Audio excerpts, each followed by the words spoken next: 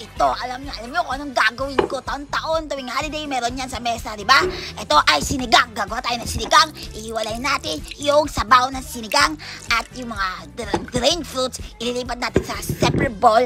Ang today's mixed fruit ang ilalagay natin. Pero putak ina mo today's, hindi naman talaga mixed fruit ang ginawa mo eh. Puro pineapple lang to eh. Sana bumili na ako ng tidbits na malaki. Tapos ilagay ko na lang dyan. Hindi na ako namasa sa'yo na may mga mixed fruits ka. So bumili pa ako ng nata de coco para dyan. So yung mga boy swerte yan, yung mga matagal nang walang anes dyan, meron silang factory ng nata de coco dyan sa ano nila eh. So libre na yung nata de coco dyan na nalalagay. Nahalo na lang, nahalo na lang nila yan dyan.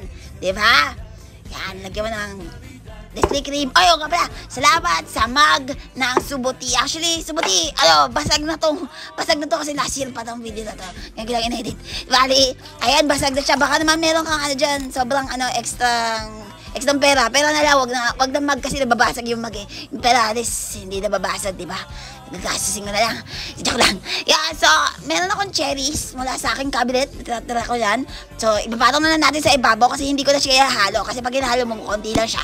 So, pang ibabaw lang siya. Katulad dyan ng mga nagtitinda ng palabok. Yung mga putak ng mga scammer ng palabok. So, nasa ibabaw lang yung chicharon, sa ibabaw lang yung hipon, at saka yung itlog. Yung itlog, favorite niyan. Sa ibabaw talaga yan, di ba?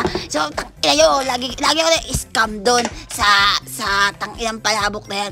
Di ba? Ang gagawin mo, mauuna kang kumuha ng palabok, kukunin mo yung laman ng ibabaw pa, tapos papabayaan mo na yung mga ibang kasamahan mo na, na kumain ng palabok na puro pansit lang, walang sahog, di ba? Yan, ganon, ganon ang trip. So, isang sikreto, para hindi maubos kagad yung fruit salad mo, huwag mo sasabihin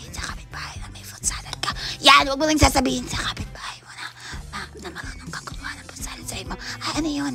Ano yun? Ano yung salad? Di ko alam yun. Ganon! Tsaka huwag mo nang sasabihin sa mga tao sa bahay na may salad ka. Huwag mo chichika na meron. Para, para tumagal siya ng limang taon.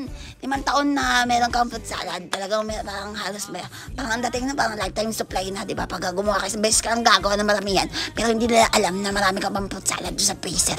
Ganun na ang sikreto ng para dumami. Para tumagal. Yan. So, plating natin. So, yan. Ginamitan ko na rules of three para gumanda yung pagka-plating ng fruit salad ko. Ang ganda. Tignan mo, pag pinipilit mo na ganyan, na, nadadagdagan yung ganda. Hindi.